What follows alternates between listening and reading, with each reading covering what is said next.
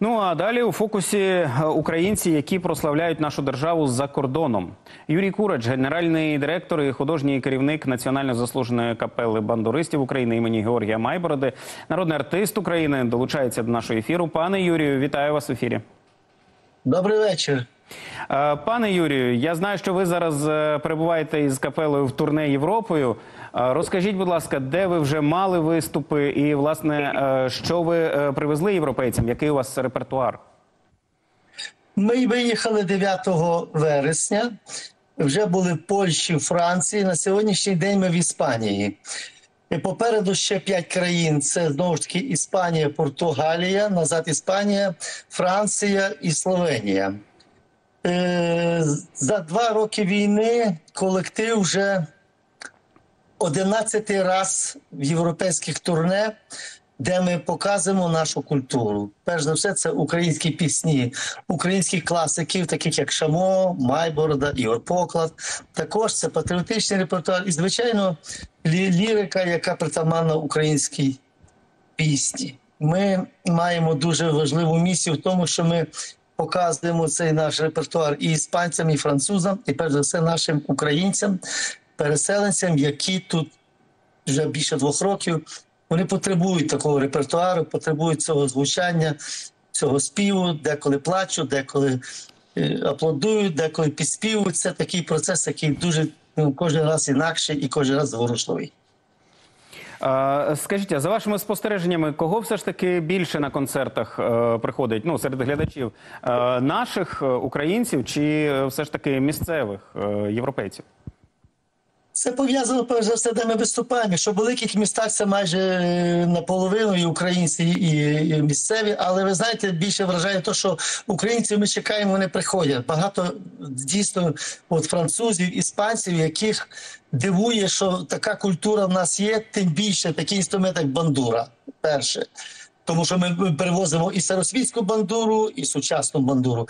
Це спів чоловічого хору. Я хочу наголосити, що капела це професійний колектив, в якому працюють тільки виключно молоді виконавці, які мають спеціальну музичну освіту і вокальну, і інструментальну. Специфіка нас дуже складна, тому що ми співаємо сидячи. Третій ряд, який ви бачите на, на картинці, він тому, що нас не поміщається в автобус ці інструменти, вони мусять стояти стоячи без інструментів. Але саме основне в тому, що іспанці і французи, зокрема, зараз надзвичайно здивовані, що такий рівень може бути, і особливо рівень ем, ну, самої культури пісенності, мелодики, гармонії. е, Агогіки виконання, колосальні українські голоси не перевершені. Це в комплексі е, вражає те, що вони прийшли і не чекали, що таке може бути. Причому на, на концерті різношерстна публіка від консулів до священників, до єпископів, до простих е, молоді. От ми виступали навіть недавно в одному із так званих консерваторій. Це на наш рівень як муз- музичний коледж. Студенти молоді, які також слухають і дивуються, що таке може звучати взагалі з таким інструментом, як бандура, якого вони взагалі не знають. Угу. А, а яка які ще реакції, можливо, є, окрім здивування у західного глядача? А, можливо, вони цікавляться е, таким інструментом, як бандура. Можливо, вони там підходили, можливо, вас щось розпитували про це. Е, розкажіть, будь ласка, більше про цей момент. Вони намагаються більше підійти на перший раз. Вони більше фотографуються і з хлопцями, і з бандурами.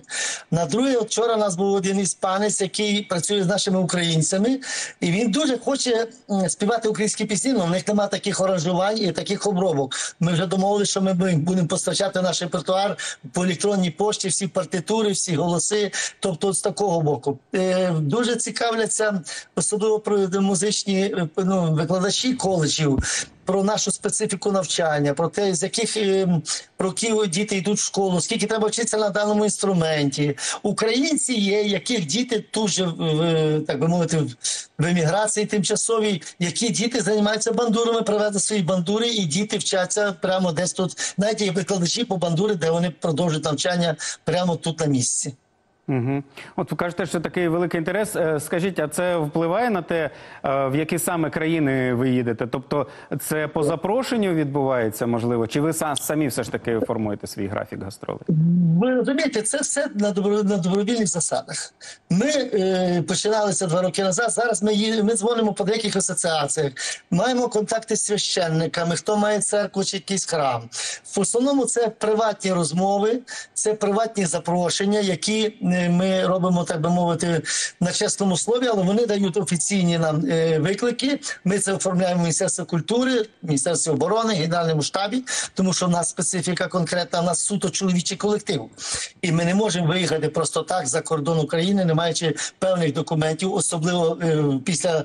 Е, Закону про мобілізацію у нас всі люди мають офіційні всі документи, які в повному порядку, і тому ми їдемо е, там, де поки що ви розумієте, то і так не близька дорога. В один бік до Іспанії 3,5 тисячі кілометрів, а до Португалії всі 5.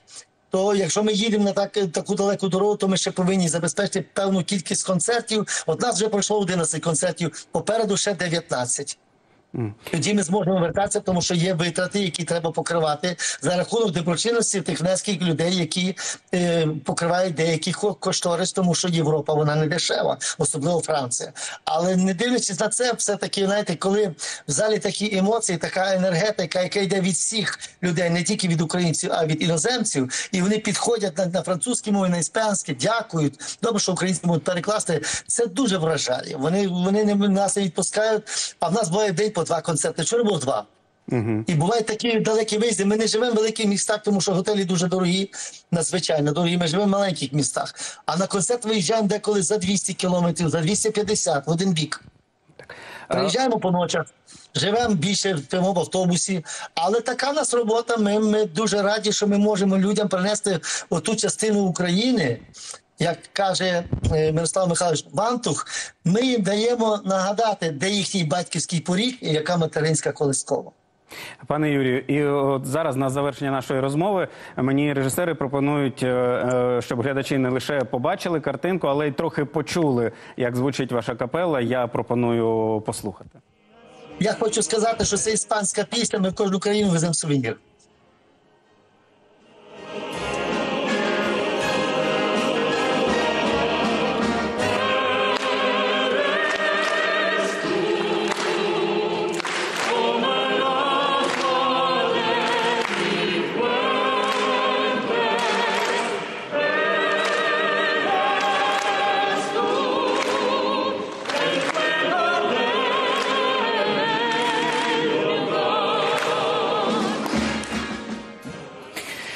Пане Юрій, ну і власне на цій прекрасній музичній ноті я пропоную завершити нашу розмову, оскільки ефірний час наш з вами завершився. Я вам дякую е, за те, що Дякую. завітали в наш ефір. Це був генеральний директор та художній керівник національної заслуженої капели бандуристів України імені Георгія Майбороди, народний артист України.